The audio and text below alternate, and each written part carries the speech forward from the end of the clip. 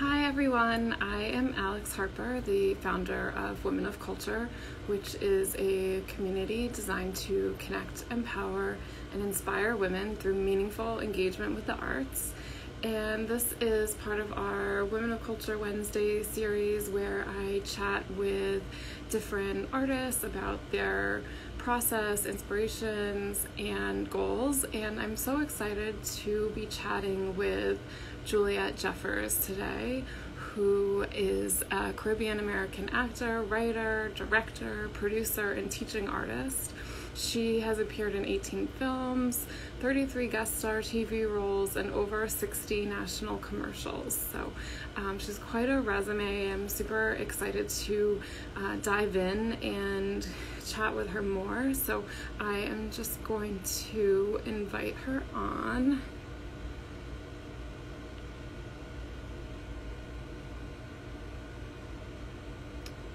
Let me just see if I can find her. Hold on.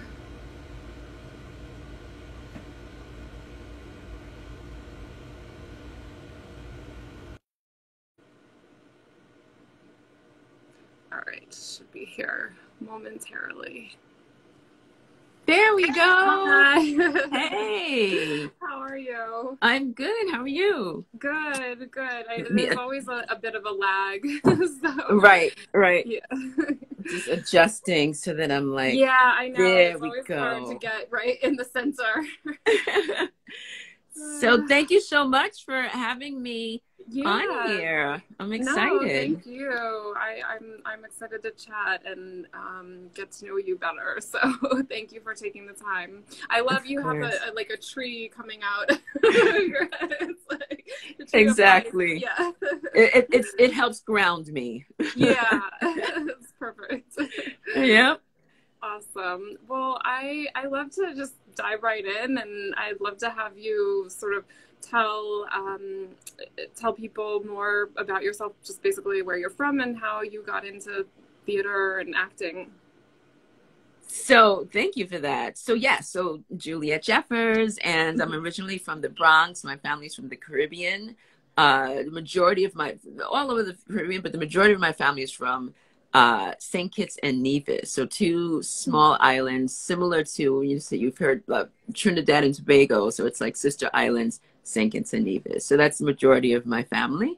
It's from there, and um, and I grew up sort of like I grew up as a dancer.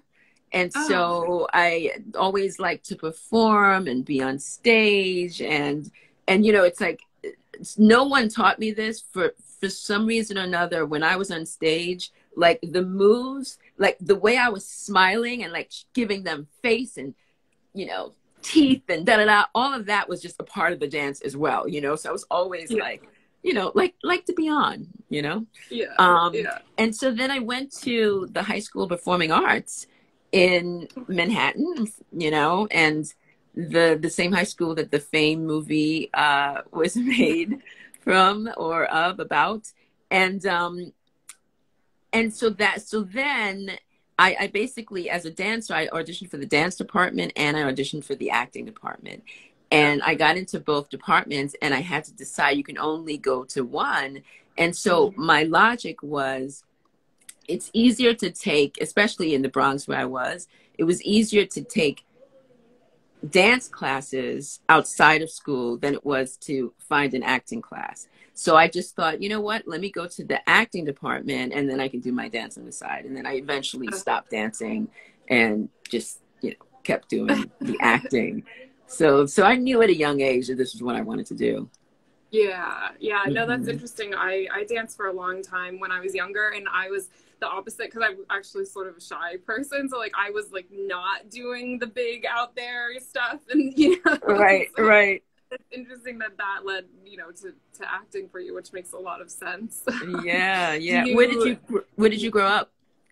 I grew up in Vermont, so Okay. not a whole lot of you know um, art or culture going on there, which is probably why I appreciate it so much now. Mhm. um, and you know, I was dancing a lot in the in the Berkshires. Actually, that was like the closest I could. Nice. Um, Yeah. So, um, what was I going to say? Do you take any dance classes now? Not now. Yeah. No. I mean, I I pretty much stopped like right after college. I would say, like in my early twenties, I was like, okay, I'm done. Yeah. Yeah. you know, I'm just going to focus on the acting.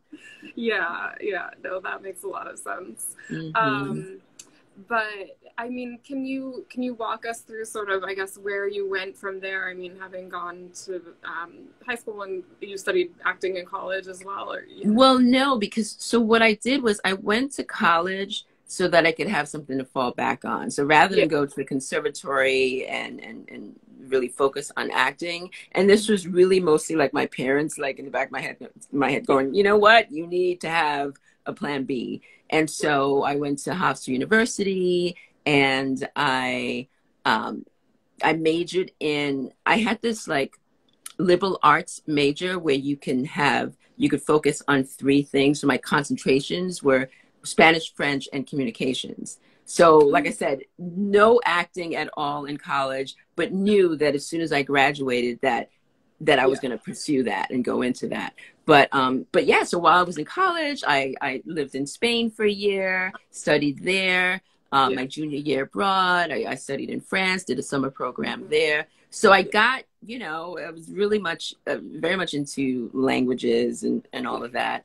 And you know, I I I told myself that, oh, when I go out to LA, I'll give it like a year or two. And if it doesn't mm-hmm. work, then I'll do something with languages. And of course, when I got out here, I was like, it's going to take more than a year or two, you know? Yeah. Yeah. mm-hmm. Yeah. stuck with it. I stuck with it, definitely. How long would you say? I mean, how do you know? Like, I, I guess it's it's like it's a continuous process. Probably, it's like. But how long do you think it took you to start to feel like, okay, this is I'm on the right path. Or, well, I think, you know, and my parents were asking that too, because of yeah. course they were like, okay, are you sure you want to do this? Like, is this, you know, and they were like, you know, couldn't you just book a commercial or something? And they didn't realize that it's probably just as hard to book a commercial as like a guest spot on a TV show. And so, um, especially with the numbers, you know, it's a numbers game. And I think that once they saw that I started working, they were like, okay, yeah, okay, good. They, they, I think they felt better about my decision. And, um, and I, you know, when I first came out here, got an agent pretty quickly. And, and then within like a year, booked my first guest star role on a TV oh, show. Oh, wow. yeah. Awesome. So, so it started. And then of course, you know, it's, it's been up and down because that's the way this works and, and a lot of times right it's like yeah. you know i'm working a lot one time and then other time it's just like slow yeah yeah but you kind of it sounds like you always knew that you wanted to go to la and pursue like tv and mm-hmm. film or yeah yeah when i when i um graduated from college i i was in new york i got an apartment in new york city for mm-hmm. like nine months and a friend of mine had moved out to LA from from high school. And she was like you should come out here and just check it out.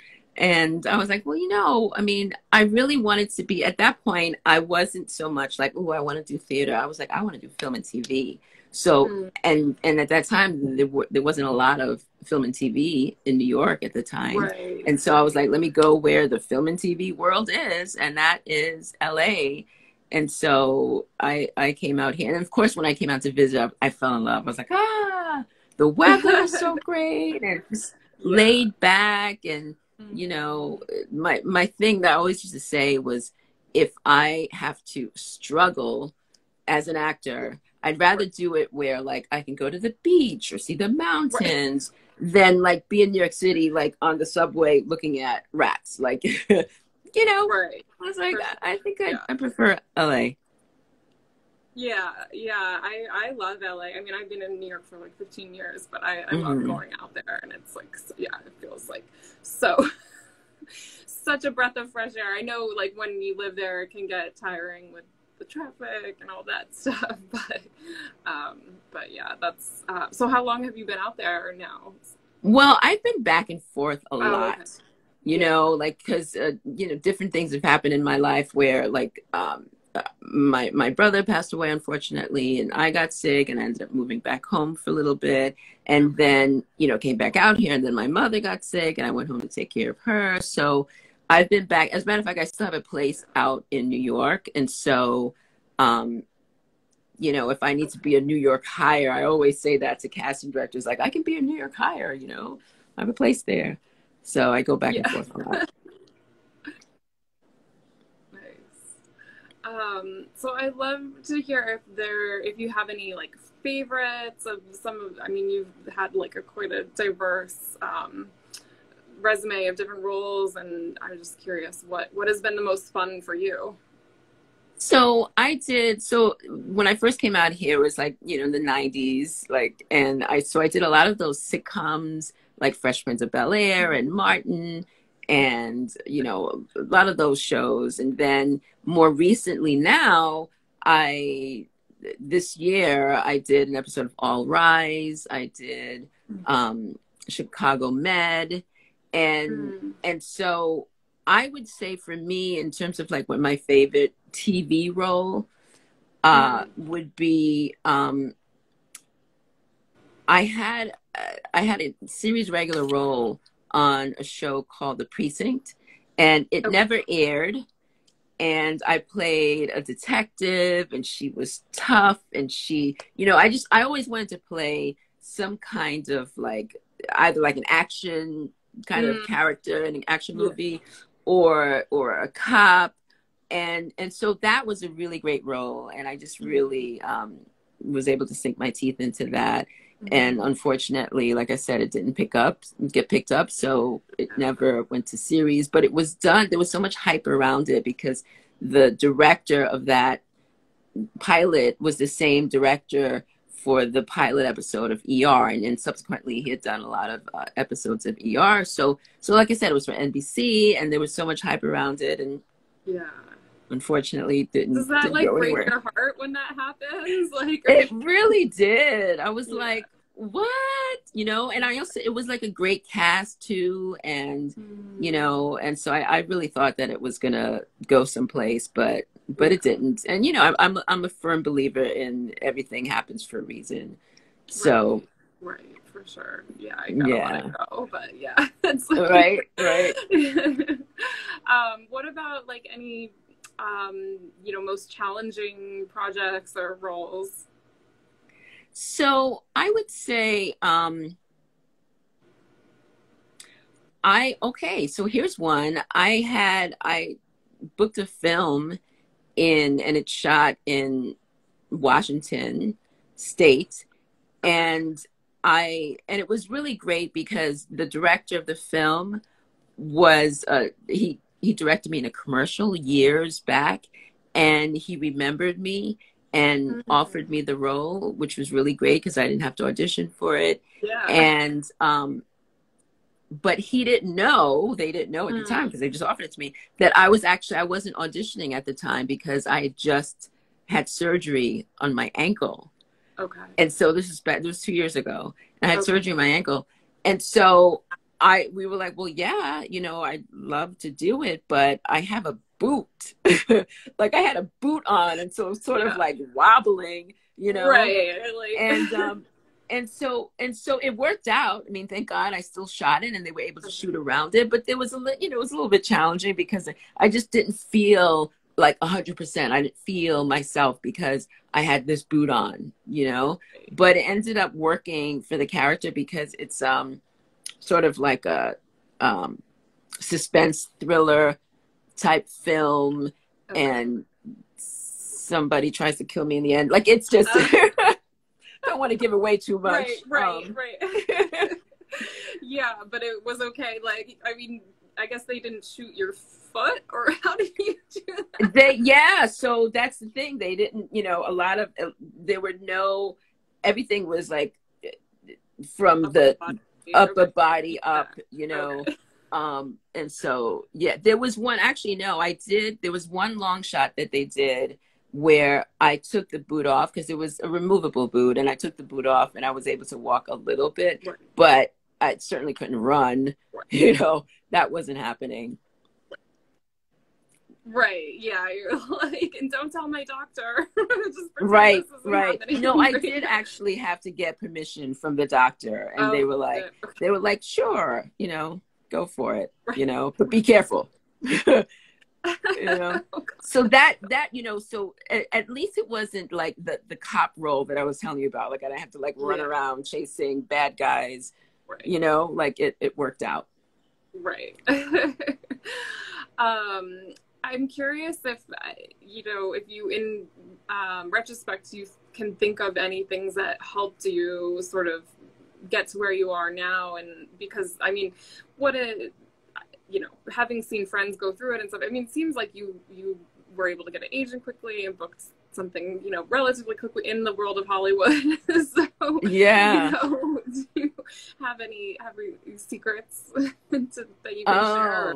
Well, I mean, to me, I feel like it's if it's something that you are really passionate about and you know that you want to do, then stick with it right mm-hmm. because yeah. because no matter what it's it's going to happen like if you truly believe that the, that you are meant to do this this is what you are here to do then it will happen and also like for me one of the things like if i had to like talk to my you know 20 year old self right i would say trust the process mm-hmm.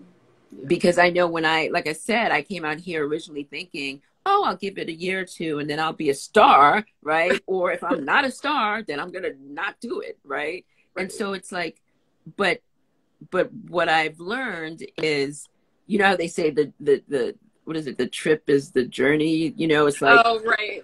something like that. I know I'm messing it up, but yeah, it's like enjoy, enjoy the journey as yeah. opposed to be like, oh God, I want to be a star. I want to be this, that, and that. You know, of course you have your goal, but enjoy the journey and and and don't rush it yeah yeah you know yeah. and now like in terms of with i'm always like i'm always producing i'm always creating I, yeah. I don't sit around waiting for the phone to ring. I got the best advice from a friend of mine uh, who's an actor. And this is when I very first moved out here. And he said to me, as an artist, you know, so much so many of us it's like we're not necessarily we're not working that nine to five grind right, right. we are artists and we're creating all that but we have to sort of think about it in a nine to five kind of way right and so if any other job you put 40 hours into working well what if as an artist you put 40 hours in right? Mm-hmm. So if you don't have an audition, then you're working on creating something. You're working, you're taking classes, you are, you know, just practicing monologue. So it's like always, and that's how I've done it, where mm-hmm. um, oh, I don't necessarily do 40 hours a week, but but I put in work yeah. every day, like at least five days a week. I put in work, right? You know, that towards my ca- my craft.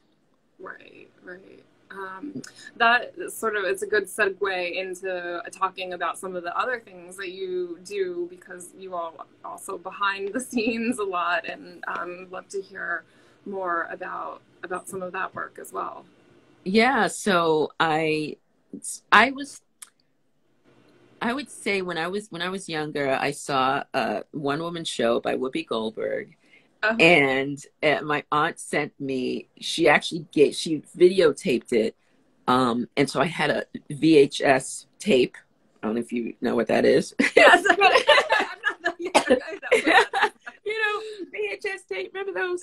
Um, of, of Whoopi Goldberg's one woman show. And then later on, I was able to actually see it on Broadway, which was really cool. Oh. And, and so that inspired me. I was like, wow, that's so cool. Um, creating characters and doing these different characters and that was something that i always liked to do. Growing up in new york city where you have it's like true melting pot. Like i grew up we were the first black family to move into our neighborhood. It was all italian you know the jewish people. Like i grew up around so many and then the different caribbean uh, accents and, and puerto ricans dominicans all of that. And so I, I I'm I'm like a sponge in that way, and I sort of like absorb. And so I'm very much like I look at mannerisms. I look at I can pick up accents, mm-hmm. and so that helped with creating these characters. And so my very first solo show was called Batman and Robin and the Boogie Down. And it's about my brother and I growing up in the Bronx. Mm-hmm. And and so I do basically all these characters that we grew up with from childhood all the way up until he passed away. I mentioned he passed away, and so it's really a tribute to him.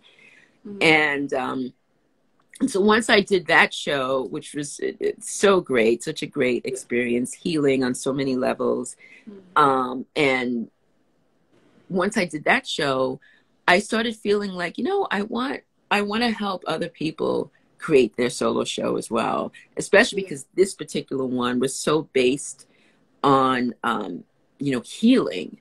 And yeah. we all need healing at some point in our lives, right? Yeah. And so I, so I just, I just became really passionate about helping others on that journey. So, mm. so I, you know, so subsequently I've written now, I have five one woman shows that I've written and performed. Wow. And I have, uh, I'm a, an advisory board member of the LA Women's Theater Festival. And just for those who don't know what it is, LA Women's Theater Festival, we've been around for over 25 years. And, um, and we create a space for women to perform their solo show. And this year we didn't do a solo show festival because of uh, COVID, but we are now um, going to be doing what we call Empowerment Weekend. Usually we do Empowerment Day, it's just one day, but now it's a full weekend. It's all going to be virtual. And it's it's going to be August, from August 28th through the 30th. And you can go to lawtf.org for in, information about that. But they're going to be different workshops. It's only $25 for the whole weekend. And so there'll be different workshops on um, uh, creating a solo show and, and marketing your show and, and, what goes into creating your team, you know, getting a director and the tech people and all of that stuff. So it's really some really great panels and workshops that'll be happening that weekend. So very much involved with them. And recently I was asked to curate a, a solo show festival called Black Voices and mm. so that's going to be through the Whitefire Theater. And that runs from September 12th through November 15th. And okay. My show is going to be opening the festival. So my show called oh, Judgment wow. Day. Yeah. And so Judgment Day is, it's just very like it's apropos to to what's going on right now in our in our country and world um you know, I deal with police brutality and also mm-hmm. just really put God to the test of like, why have you allowed all of this, all of these injustices to happen to Black people? And so it just really explores a lot of things that I think a lot of people think, but they don't say out loud, you know? Right. So, um, so yeah, so those are the two main things that I'm working on right now. Wow, that's very exciting. yeah. Mean, uh, yeah.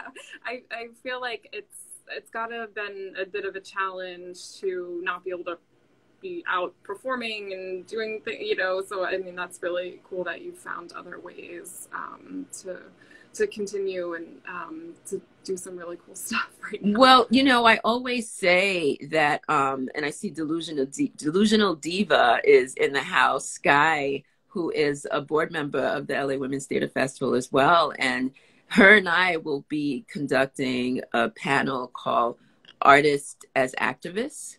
And mm, nice. and so, you know, I've said this many times and I'll say it again that we as artists, like our job is to heal, our job is to create, right? And so for me personally, when things are happening in my world, right? And and I'm affected by it, you know, there's so many things we can do. We can go out there, we can protest, we can, you know, uh, try to make change um, in so many different ways. For me, it's I, I start to write. You know. I, I write about it, and and so it's like, how do you? What what it?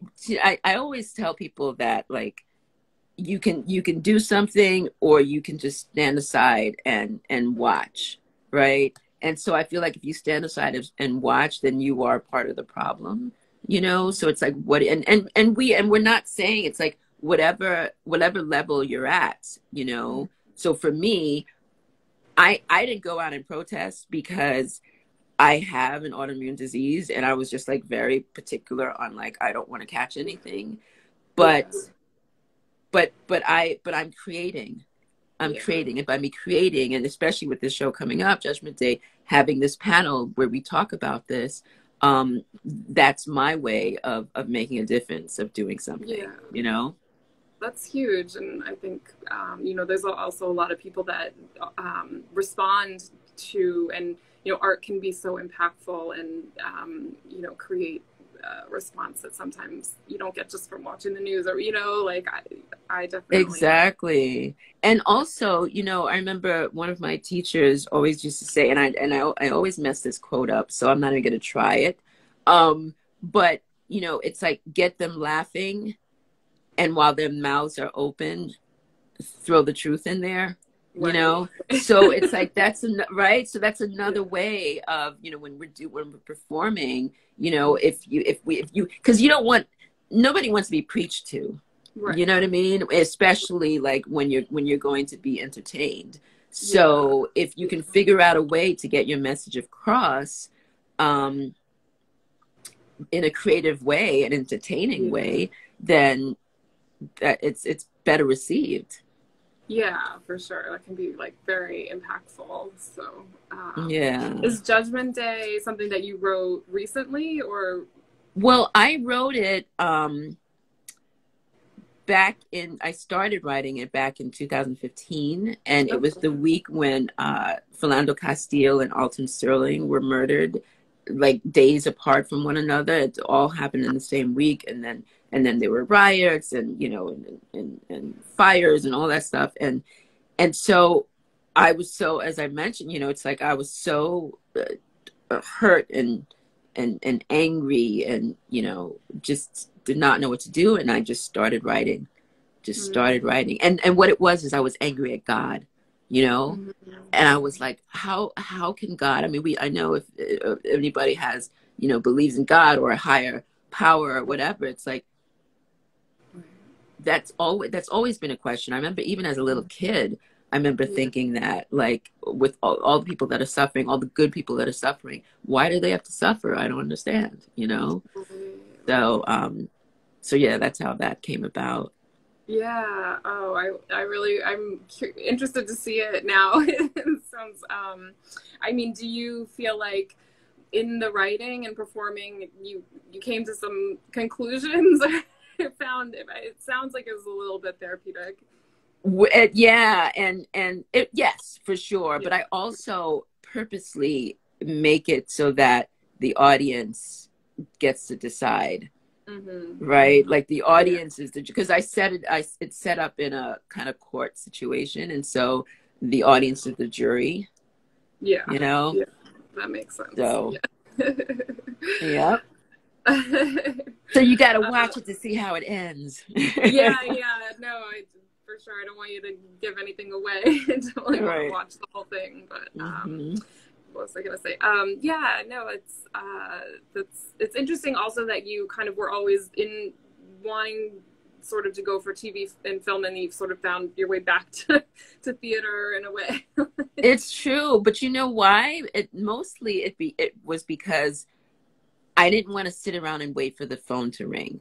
Yeah. So it's like during those down times, right. I need to create something. And then now, um, with all of this material, and especially now that you know what people are doing so much, they're creating their own content and they're putting it on YouTube and they're you know, and then they're getting their own TV shows. Like my goal with my shows is to create i mean there there's one that i want to two actually that i know of that that i've been working on uh creating a film version of it and then another tv version of it. So you know it's like i have the material i have the content and now i just have to switch it up and yeah. you know convert it into something that will have a, a bigger a wider audience. Awesome. Um yeah, I was curious. This is sort of my my last question, but just if you have um, a dream role or project in in your head? well, I mean, so that's similar to what I was just talking about, where I would love to star in my own TV show, right? And so because I have this material already, I'm like, oh, well, which one can I convert into a TV show? I would love to create, you know, because I'm uh, not only in front of the camera, but also uh, create something for the big screen. And and I, I just I always like I, I like bringing people together too. So I want to be able to create a project where I can put my friends in it yeah. You know, I have so many friends that are really good artists, right? Yeah. But they're not they're they're not getting the work. And so the, I would love to be able to do that. Create a mm-hmm. project where I can put my friends in. yeah. that sounds awesome. Yeah. I, hope that, I hope that you can you can do that. It seems like, you know, you make things happen, so I, I have faith in it. yes, yes, I will right. Well, thank you so much. This is really great to learn more about you, and I'm excited to check out um, LA Women's Theater Festival and the Black Voices Festival at uh, Whitefire Theater. They both sound amazing. So thank you um, so much. Yeah, thank you again. It was great to to chat, and I hope um, hope you have a great rest of the night. Thank you. You too. okay. All right. Bye.